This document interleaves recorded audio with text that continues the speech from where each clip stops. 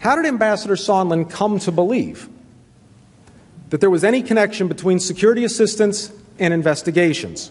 Again, the House managers didn't tell you. Why not? In his public testimony, Ambassador Sondland used variations of the words assume, presume, guess, speculate, and belief over 30 times. Here are some examples. That was my presumption, my personal presumption. That was my belief. That was my presumption, yeah. Is that I said? I presume that might have to be done in order to get the aid released. It was a presumption. I've been very clear as to when I was presuming, and I was presuming on the aid. It would be pure, um, you know, guesswork on my part, speculation. I don't, I don't know. That was the problem, Mr. Goldman. No one told me directly that the aid was tied to anything. I was presuming it was.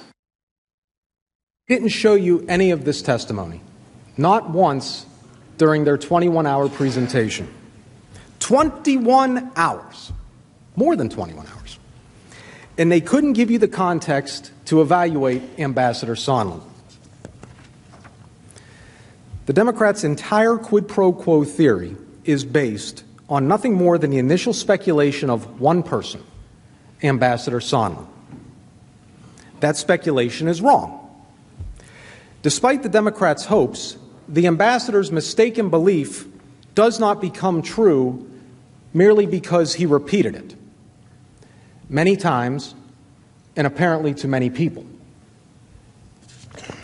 Under Secretary of State David Hale, George Kent, and Ambassador Volker all testified that there was no connection whatsoever between security assistance and investigations. Here is Ambassador Volker. You had a meeting with the President of the United States, and you believe that the policy issues that he raised concerning Ukraine were valid, correct? Yes.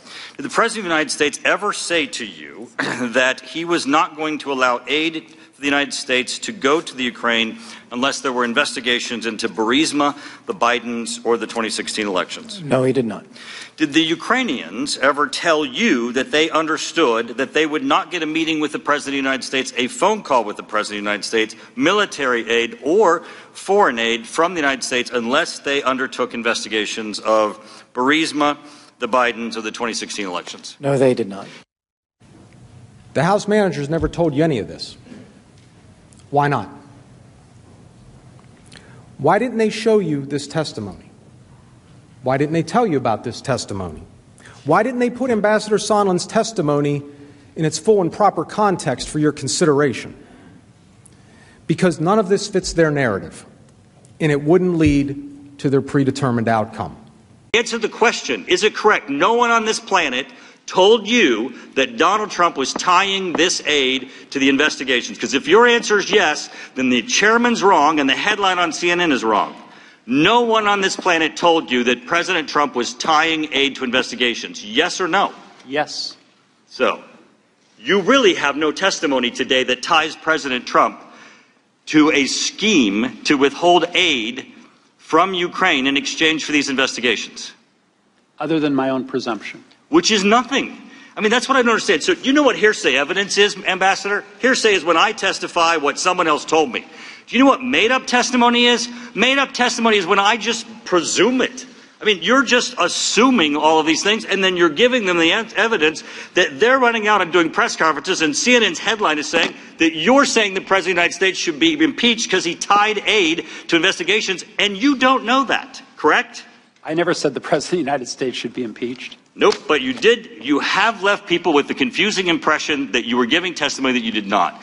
You do not have any evidence that the President of the United States was tied to withholding aid from Ukraine in exchange for investigations. I yield back.